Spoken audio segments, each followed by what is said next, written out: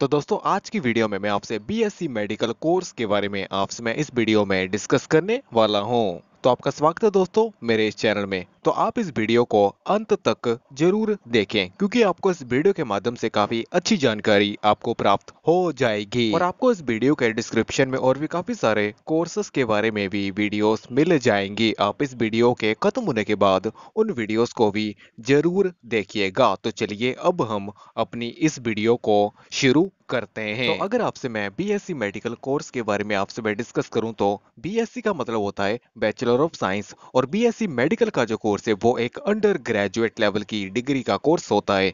तो जय कोर्स तीन वर्ष का कोर्स होता है, जिसमें कुल छह सेमेस्टर होते हैं। तो बीएससी मेडिकल का एक ऐसा कोर्स है, जिसमें चिकित्सा विज्ञान के विषयों पर ज्ञान प्रदान करता है। इस कोर्स के अंतर्गत स्टूडेंट्स को चिकित्सा एनाटोमी फिजियोलॉजी फार्माकोलॉजी पैथोलॉजी और अन्य मेडिकल के जो क्षेत्र होते हैं, वो स्टूडेंट्स को स्टडी करवाए जाते हैं। तो इस कोर्स के माध्यम से स्टूडेंट्स को चिकित्सा विज्ञान के मूल सिद्धांत और व्यवहारिक ज्ञान भी स्टूडेंट्स को दिया जाता है। तो जो प्रैक्टिकल की जो नॉलेज होती है, वो भी स्टूडेंट्स को इस कोर्स के माध्यम से दी जाती है। अब जैसे कि पैथोलॉजी लेबोरेटरी में सैंपल का कनेक्शन डायग्नोसिस और टेस्टिंग टेक्निक्स लेबोरेटरी वर्क जो होता है, वो इसमें एक सेक्टर आ जाता है। और इसके साथ उन्हें कम्युनिकेशन स्किल्स टीम वर्क और पेशेंट केयर का भी ज्ञान दिया जाता है। तो अगर आप इस कोर्स को पूरा करने के बाद अगर आप हायर स्टडी करना चाहते हो, यानी आप पोस्ट ग्रेजुएट लेवल की स्टडी करना चाहते हो तो दोस्तों आप एमएससी के लिए भी आप अप्लाई कर सकते हो।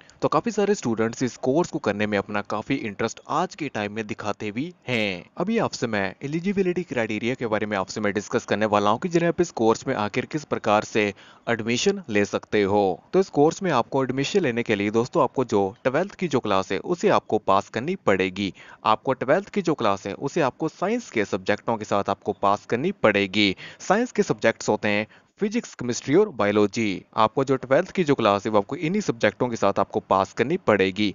तो तभी आप इस कोर्स के लिए एलिजिबल हो पाओगे। और साथ में दोस्तों, मैं आपको ये भी बताना चाहता हूँ कि काफ़ी सारी यूनिवर्सिटीज का जो एलिजिबिलिटी क्राइटेरिया है बीएससी मेडिकल कोर्स के रिगार्डिंग वो डिफरेंट भी हो सकता है।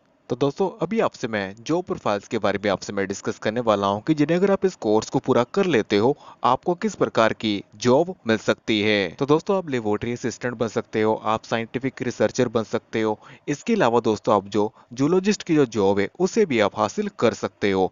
तो जैसा अब आपकी पर्सनल स्किल और नॉलेज के ऊपर डिपेंड करता है कि आपको कौन से सेक्टर में आपको जॉब मिल सकती है। तो इसके अलावा इस कोर्स को पूरा करने के बाद और भी काफ़ी सारी जो जॉब्स की पॉसिबिलिटीज हैं, वो स्टूडेंट को मिल सकती हैं। अभी आपसे मैं सिलेबस के बारे में आपसे मैं डिस्कस करने वाला हूँ कि जिन्हें आप इस कोर्स में आखिर किस प्रकार का जो सिलेबस होता है, वो आप स्टडी करते हो। तो इस कोर्स में आपको chemistry general English computer science zoology botany etcetera जो सब्जेक्ट्स होते हैं, वो आप इस कोर्स के माध्यम से आप स्टडी करते हो। और भी इस कोर्स में कई सारे सब्जेक्ट्स होते हैं, जो आपको इस कोर्स के दौरान आपको करवाए जाते हैं। और साथ में दोस्तों, मैं आपको ये भी बताना चाहता हूँ कि काफ़ी सारी यूनिवर्सिटीज के सिलेबस के हिसाब से जय जो सब्जेक्ट हैं, वो डिफरेंट भी हो सकते हैं। तो दोस्तों, इस वीडियो में मैंने आपसे बीएससी मेडिकल कोर्स के बारे में आपसे मैंने इस वीडियो में डिस्कस किया है। मुझे लगता है कि आपको इस वीडियो के माध्यम से काफ़ी अच्छी जानकारी आपको प्राप्त हुई होगी।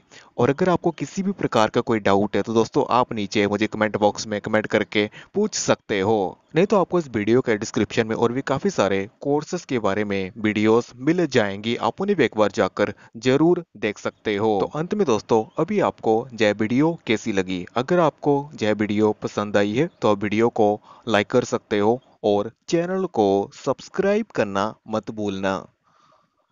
धन्यवाद।